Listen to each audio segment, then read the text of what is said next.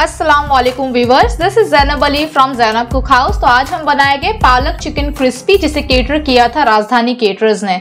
So guys Zainab cook house को subscribe नहीं किया है तो बेल आइकन प्रेस कर लीजिए और सब्सक्राइब ज़रूर कर लीजिए।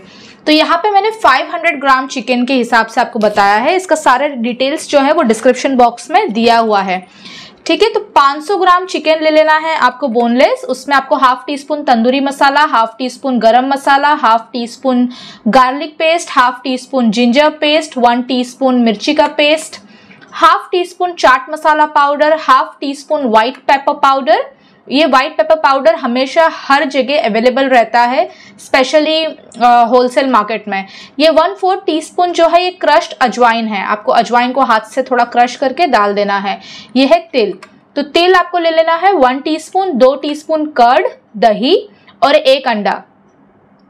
ओके और इसमें कॉर्नफ्लावर गया है। तो कॉर्नफ्लावर थ्री टीस्पून थ्री से फोर टीस्पून आप डाल सकते हैं। जिस तरीके से आपका चिकन को ज़रूरत है, उस हिसाब से आपको डालना है और ग्रीन फ़ूड कलर। ओके, अभी इसमें नमक नहीं गया है, नमक नहीं डालना है ये स्टेज पे, नमक हम बाद में डालेंगे। जब पूरा मैरिनेशन हो जाए, उसके बाद आपको salt as per your taste डालना है और इसको ज़्यादा वक्त नहीं रखना है, क्योंकि ये पानी छोड़ता है। पालक को आपको तीन चार घंटे पहले धो के, अच्छे से उसका पानी पूरा निकाल के ड्राई करके, उसे चॉप कर लेना है बारीक बारीक जितना आप बारीक करोगे फ्लेकी उतना ये अच्छा इसका क्रिस्पी बनेगा। पालक ले लेना है उसको आप आ, बड़े से प्लेट में उसके ऊपर आपको डाल देना है कॉर्नफ्लावर तिल तो कॉर्नफ्लावर और तिल का कोई हिसाब नहीं है बिकॉज़ आपको जितना फ्राई में यूज़ होगा उतना थोड़ा ज़्यादा ही आप ये मिक्सचर बना के रखें। फैला के एक एक क्रिस्पी जो है उसको पैट कर लीजिए अच्छे से अच्छे से हाथ से दबा के ताकि पालक चपक चिपक जाए। और आपको इसको रखना नहीं है। आपको तुरंत इसको फ्राई करना है बिकॉज़ पालक में बहुत मॉइस्चर होता है और वो पानी छोड़ देता है।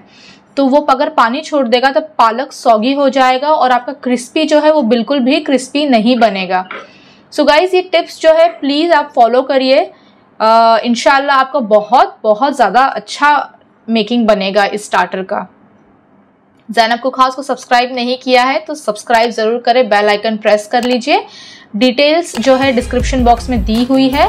पालक को जैसे ही आप ऑयल में डालें, तुरंत ना हिलाए, बाद में आपको करना है।